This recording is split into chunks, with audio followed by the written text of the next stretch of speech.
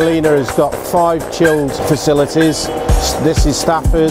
Stafford is the original um, manual warehouse and we're dispatching any sort of chilled products from chilled drinks to cheese to um, soya products into, well, all retailers within the UK.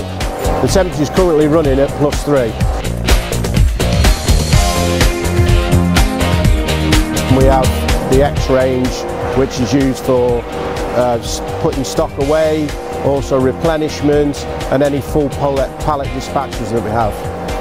So the most important requirements is for the, to be able to manage the amount of um, pallets that we're putting away and also the fact of the height uh, and the ability to lift safely and efficiently and that's why we chose the X-Range. The lift height requirement here at Stafford is 10.4 metres. Um, we do have um, another facility at Haverhill where there's a requirement to lift to, I think it's 1280. As Linde is our partner in, in Chilled, um, there was a level of discussion before the facility obviously opened up to do 12.8 to um, with Linde to see if they can facilitate that. There were some modifications required by Linde, uh, full flexibility and also being able to adapt to what Culina requirements are. For the truck it's very comfortable to sit on so you, you don't ache or anything during the day. After driving the other trucks where the mats come out these are a lot better because the old ones obviously when you're lifting a heavy pallet six high it, there was a lot of movement going forward whereas this there's very little movement when you lift it up off the racking, so it, it makes it a lot safer.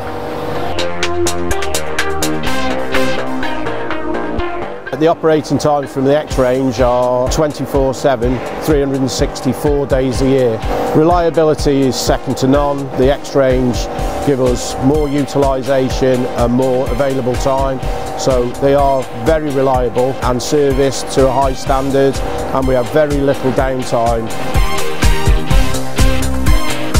So the, the, the main benefits of the X range are manoeuvrability, also the stability of the truck when it's lifting to height is, is, is excellent compared with the previous uh, uh, fleet we had.